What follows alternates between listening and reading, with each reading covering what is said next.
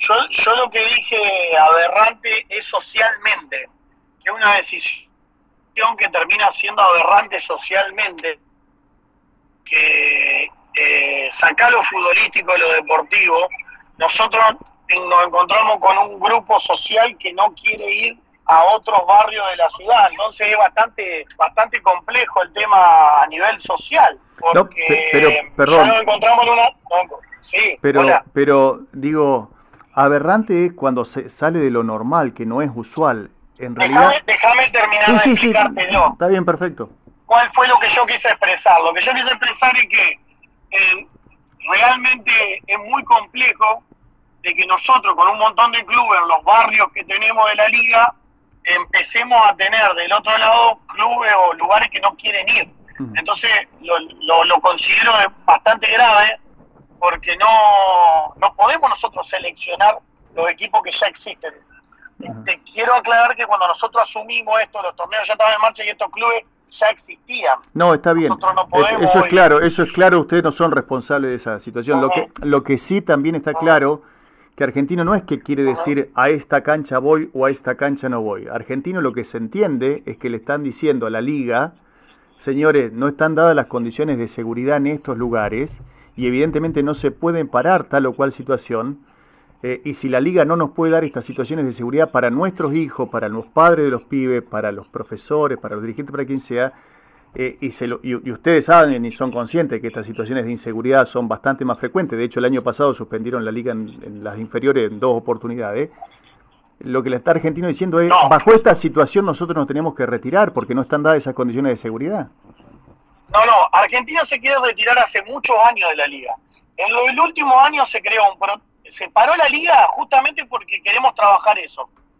Era con los insultos de afuera de la cancha a los chicos. Se creó un protocolo el cual se está utilizando y se suspenden los partidos si no se utiliza el protocolo. La única liga que utiliza ese protocolo en la provincia es la Liga Santafesina, donde los árbitros si lo insultan a los chicos o a, los árbitros de afuera paran el partido. Ahora, si van a jugar la Liga Esperancino la que sea, van a notar que ese protocolo no lo tienen.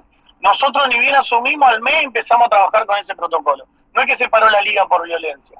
Sí, hay violencia pero, en todas las eh, ligas, como en toda la liga. Y después, Leonidas, con respecto anteriormente a la nota mía habló Darío, y cuando habló Darío dijo de que eh, había lugares donde eh, los padres no querían mandar los chicos a las jornadas inferiores.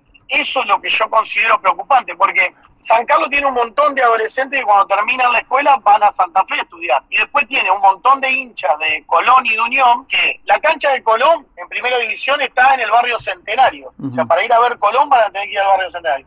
Para ir a ver Unión van a tener que pasar por Villa del Parque. Leonida, está haciendo, está haciendo, está haciendo una, está haciendo una apreciación incorrecta, Leonida. Porque ir a ver a Colón o ir a ver a Unión, que vamos muchos de los que somos de acá, es una cuestión optativa individual.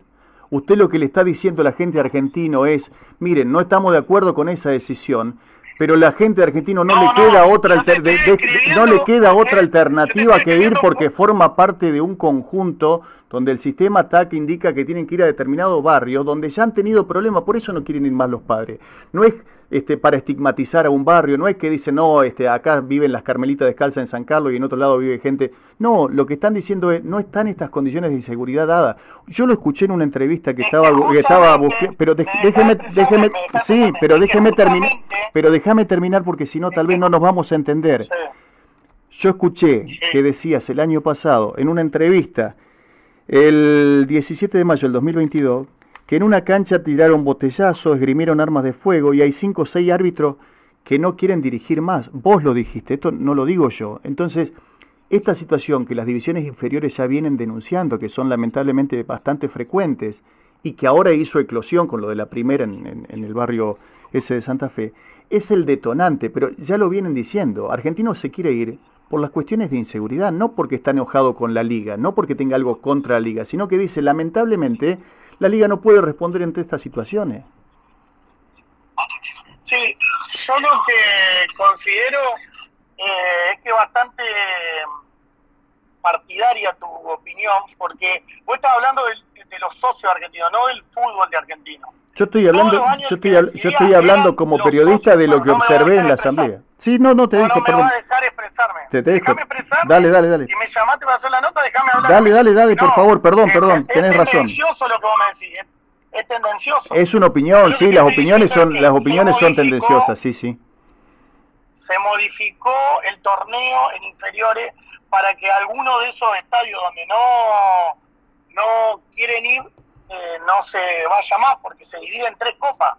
Históricamente Argentino participó de Copa de Oro o de Plata y es lo que habíamos hablado con los dirigentes y es lo que le, habíamos propuesto para hacer. Ediliciamente hay tres canchas suspendidas que las están modificando. Ediliciamente y económicamente la Liga Santafesina no tiene lo que tiene la Esperancina, pero competitivamente y deportivamente es mucho más fuerte y tiene mucho más beneficio que lo que no tiene por otro lado.